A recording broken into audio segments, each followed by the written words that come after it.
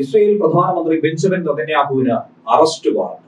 Criminal നടപടികളെ തുടർന്നാണ് ഹേഗിലെ അന്താരാഷ്ട്ര ക്രിമിനൽ കോടതി ഇപ്പോൾ നെതന്യാഹുവിനെതിരെ അറസ്റ്റ് വാറണ്ട് പുറപ്പെടുവിച്ചിരിക്കുന്നത്. കോടതിക്ക് മുൻപാകെ കീഴടങ്ങിയില്ല എങ്കിൽ ഇസ്രയേലിന് പുറത്തേക്ക് ഏത് നിമിഷം പറന്നു പൊങ്ങിയാലും അറസ്റ്റ് ചെയ്യാനുള്ള ഒരു ശ്രമമാണ് നൂറ്റി ഇരുപത്തിരണ്ട് രാജ്യങ്ങളുടെ നേതൃത്വത്തിൽ ഹേഗ് നടത്താനായി തീരുമാനിച്ചിരിക്കുന്നത്. ഇതിനെതിരെ ശക്തമായി തന്നെ ആയിരിക്കും പ്രതികരിക്കാൻ ഒരുങ്ങുന്നത്. ഒപ്പം തന്നെ അമേരിക്കയും ഇതിനെതിരായിട്ടുള്ള ശക്തമായ നിലപാട് സ്വീകരിക്കുമോ ഇല്ലയോ എന്നുള്ളത് തന്നെയാണ് വരും ദിവസങ്ങളിൽ കണ്ടറിയേണ്ടത്.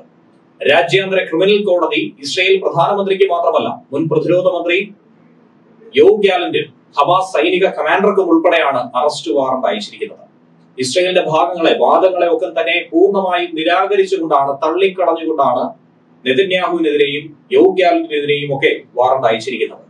ഹമാസ് മിലിറ്ററി കമാൻഡറായിട്ടുള്ള മുഹമ്മദ് ദെയ്ഫിനും ഈ വാറണ്ട് അയച്ചിട്ടുണ്ട് പക്ഷേ മുഹമ്മദ് ദൈഫിനെ ഇതിനോടകം തന്നെ കാലപുരിക്ക് അയച്ചു എന്ന ഇസ്രയേൽ ഈ ഘട്ടത്തിൽ വ്യക്തമാക്കുകയാണ്. റോയിറ്റേഴ്സും അതുപോലെ ജെറുസലേം പോസ്റ്റും അടക്കം അന്താരാഷ്ട്ര മാധ്യമങ്ങൾ നിരവധിയാണ് ഈ വാർത്ത ഇപ്പോൾ റിപ്പോർട്ട് ചെയ്തിരിക്കുന്നത്. ഒരു വർഷത്തിലധികമായി ഗാസയിൽ തുടരുന്ന മനുഷ്യാവകാശ ലംഘനങ്ങളുടെ പശ്ചാത്തലത്തിൽ യുദ്ധക്കുറ്റം ചുമത്തുന്നു എന്നാണ് കോടതി വാറണ്ട് പുറപ്പെടുവിച്ചിരിക്കുന്നത്. ആ പേരിന്റെ പശ്ചാത്തലത്തിലാണ് നിലവിൽ വാറണ്ട് ഉള്ളത് ഗാസയിലെ ജനങ്ങൾക്ക് അവരുടെ അവകാശമായിട്ടുള്ള പല കാര്യങ്ങളും നിന്ദിക്കുന്നു. ജനങ്ങൾക്ക് വെള്ളം ഭക്ഷണം മരുന്ന് വൈദ്യസഹായം ഇന്ധനം വൈദ്യുതി എന്നിവ ഉൾപ്പെടെ അവരുടെ നിലനിൽപ്പിന് ആധാരമായിട്ടുള്ള അവകാശമായി ലഭിക്കേണ്ട ഒരു കാരണവശാലും ഒഴിച്ചുകൂടാൻ കഴിയാത്ത വസ്തുക്കളെ ബോധപൂർവം നിഷേധിച്ചുവെന്നാണ് ഐ സി സി ചേംബർ വിലയിരുത്തിയത്.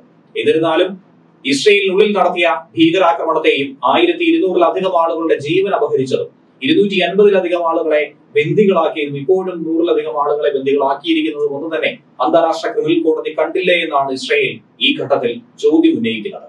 എല്ലാത്തിന്റെയും തുടക്കം അവിടെ നിന്നായിരുന്നു. അതിനുള്ള മറുപടി എന്നോണം തന്നെയായിരുന്നു കനത്ത പ്രഹരം ആരംഭിച്ചത്. പക്ഷേ നിലവിൽ ഒക്ടോബർ ഏഴിനുണ്ടായ കൂട്ടക്കൊലയ്ക്ക് പിന്നാലെ ഉണ്ടായ ഗാസയിലെ സംഭവങ്ങൾ തന്നെയാണ് വാറണ്ട് പുറപ്പെടുവിക്കാനുള്ള ഏകകണ്ഠമായ തീരുമാനത്തിനുള്ള കാരണം.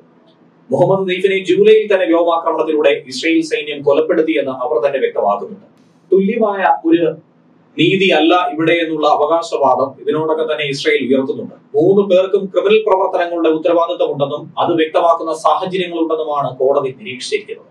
ഇസ്രയേലും ഹമാസും ഈ ആരോപണങ്ങളെ പൂർണമായി നിഷേധിക്കുന്നു ഇതിനോട് അനുഭാവപൂർവമായിട്ടുള്ള തീരുമാനം പ്രകടിപ്പിക്കുന്നില്ല എന്ന് വേണം മനസ്സിലാക്കാൻ. കാരണം ഇസ്രയേലിനെ സംബന്ധിച്ച് നീതിന്യായ കോടതിയുടെ വാക്കുകൾ കേൾക്കേണ്ട സാഹചര്യമില്ല എന്നുള്ളത് അവർ വ്യക്തമായി പറയുന്നു. അതിനുള്ള വ്യക്തമായ മറ്റൊരു കാരണം കൂടി ഇതിനുശേഷം പറയുന്നതായിരിക്കും.